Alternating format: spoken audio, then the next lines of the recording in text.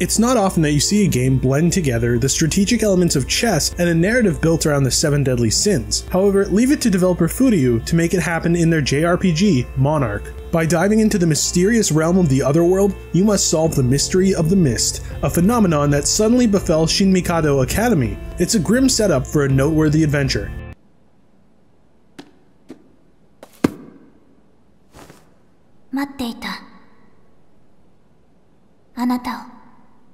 In Monark, you play as a nameless protagonist who is suffering from a case of amnesia. As soon as the game starts, you'll be greeted to the first combat encounter that you unfortunately lose no matter what. You'll then take a 15 question test, of which your answers will increase each of your 7 sins in different proportions. The opening comes off as slow paced, especially during the first chapter, as you're going through the tutorials and learning basic mechanics. Still, I appreciated this methodical rollout as there are a handful of unique systems to understand. Further, plenty of cast members are introduced that offer drips of lore about your current mission. You're put onto a map with a limited movement range per turn during combat, but you have a free directional movement inside said range. Actions such as skills are usable but require a minor HP sacrifice while attacks offer buffs. There's also the defer option, which grants the character an extra turn by passing the baton. Of course, if you do too much, you risk the character going mad. The descriptions for each skill are self-explanatory, with comprehensive symbols assisting you with the consequences of each action. The only gripe I had with the combat system was how movement worked. Sometimes I found that the enemies got too crowded together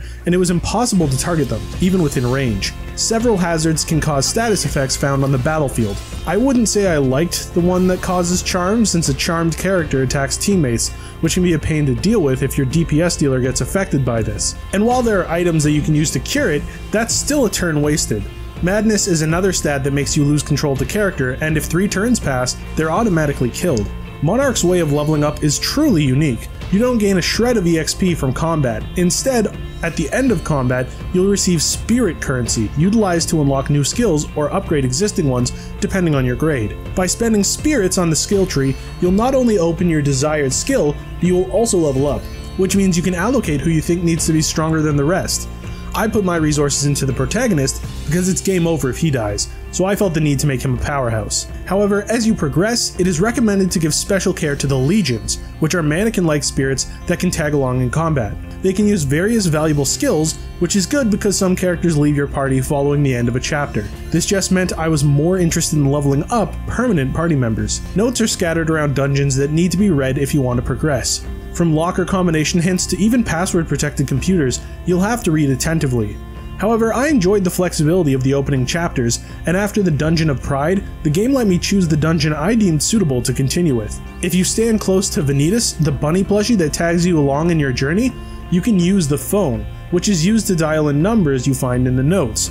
There's no stopping you from dialing random numbers, but please don't unless you want to fight level 90 enemies in the game's early stages. Once you dial a dungeon number, you cannot go back to the main menu to prepare, with your only option being to either accept your fate or reset the game. That being said, not everything in Monark is smooth sailing. For one, you're more than likely to encounter a difficulty spike without any prior warning, making grinding almost a necessity if you wish to progress. Even if you knock down the difficulty by using casual mode, it doesn't really do any favors. It's almost like casual mode is the intended normal difficulty. I found this out after my party was wiped, even though I was 3 levels higher than the enemy. Furthermore, some dungeon puzzles are vague about what you need to do. For instance, in one of the dungeons, the game has you backtrack to previous locations you visited, without any hint or indication of what or where you're supposed to go. This wasn't an issue in the first few dungeons, but the further I got, the more annoyed I became about this lack of clarity, which resulted in me searching through a guide. Monark puts a spin on the high school JRPG design by offering unique gameplay and combat systems for fans of the genre. The narrative heightens this experience with a memorable cast and plenty of mysteries to uncover. The spike in difficulty hurts the experience as the balance of vague puzzles and encounters slows the pacing down to a crawl, but genre veterans might enjoy the art of grinding and not notice this too much. Noisy Pixel is giving Monark an 8 out of 10. Thanks for watching and please check out the full review at noisypixel.net. Noisy Pixel is run by a group of gamers who work hard to deliver news, reviews, previews, and more. Please subscribe to keep up with all our future content.